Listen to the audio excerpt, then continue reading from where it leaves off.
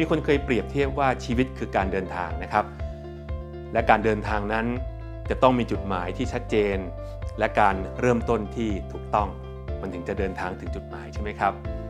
แล้ววันนี้ชีวิตของคุณมีจุดหมายอะไรครับ หลายคนมีจุดหมายที่ดี อยากมีความสุข อยากไปอยู่ในสวรรค์เมื่อจากโลกนี้ไป อยากมีสิ่งที่ดีมากขึ้นในโลกใบนี้นะครับในชีวิตส่วนตัวนะครับคำถามคือเราจะเริ่มต้นยังไง ให้ถูกต้องเพื่อพาเราไปสู่จุดหมายปลายทางนั้นได้ และในวันนี้ครับผมต้องขอแสดงความยินดีอย่างยิ่งกับทุกท่าน ที่ต้องการจะเริ่มต้นชีวิตกับพระเยซูคริสต์วิธีการง่าย ๆ ครับที่เราจะเชิญพระเยซูเข้ามาในชีวิต แล้วเริ่มต้นเดินไปกับพระองค์คือการอธิษฐานด้วยความจริงใจ ผมจะนำทุกท่านนะครับ ได้อธิษฐานตามผมทีละประโยคนะครับ ซึ่งมาจากใจของท่านแต่ละคนที่อธิษฐาน ลองหลับตาลงนะครับ ฟังแต่เสียงและพูดตามผม ข้าแต่พระเจ้า ในวันนี้ ขอต้อนรับพระเยซูคริสต์มาเป็นพระเจ้าของข้าพเจ้า อยู่ในใจของข้าพเจ้า ในวันนี้ ขอกลับใจใหม่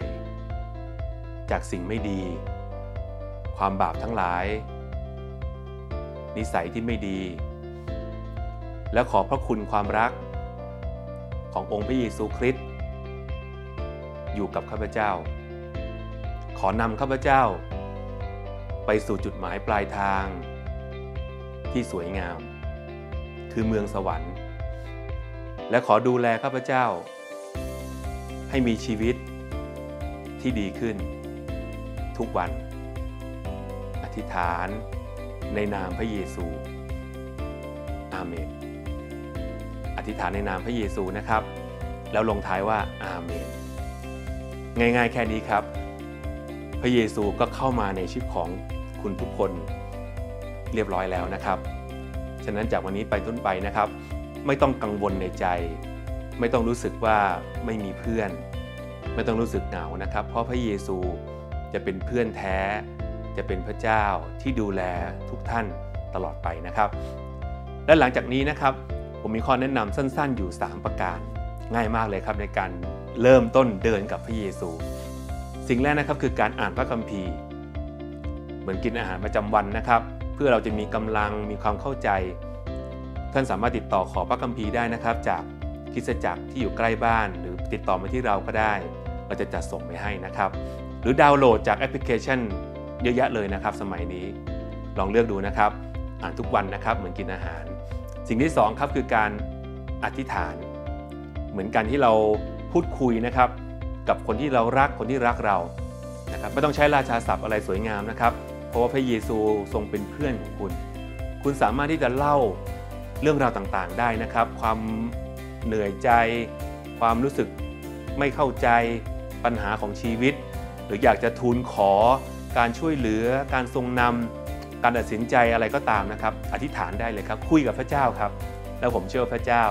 จะมาคุยกับท่านด้วยนะครับ และสิ่งที่ 3 ก็คือการสามัคคีธรรม การไปร่วมกิจกรรมต่างๆ ของคริสเตียนนะครับ อาจจะเป็นการไปโบสถ์วันอาทิตย์ ไปร่วมกลุ่มย่อยระหว่างสัปดาห์นะครับ ร่วมกิจกรรมของคริสตจักร จะมีเพื่อนคริสเตียนมาชวนท่านไปนะครับ อาจจะชวนไปทานข้าว ชวนไปเที่ยวบ้าน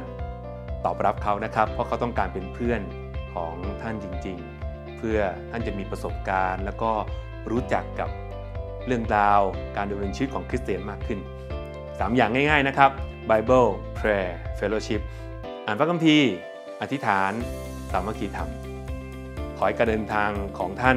ไปสู่จุดหมายปลายทางนะครับ ขอให้ชีวิตของท่านมีแต่ความสุข รอยยิ้ม เสียงหัวเราะ ความหวังที่มีในจิตใจ และความชื่นชมยินดี เพราะพระเยซู